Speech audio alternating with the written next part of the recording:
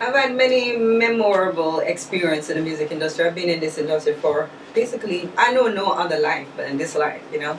I got exposed as a little girl and here I am a big woman still in it. Sometimes I wonder how. Still have some degree of, you know, still doing my thing.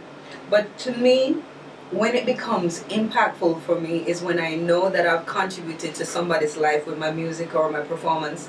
I had this song called Not My Baby on my album called Nadine and it's about a mother losing a son and how she felt about it and I think the most memorable experience for me is that a woman stopped me at a concert I still get teary and she came to me and she told me that you know how she was able to heal herself you know, listening to that song, she connected so deeply with the lyric of that song. And as a result, she played that album. She played that song over and over and over again and how much it has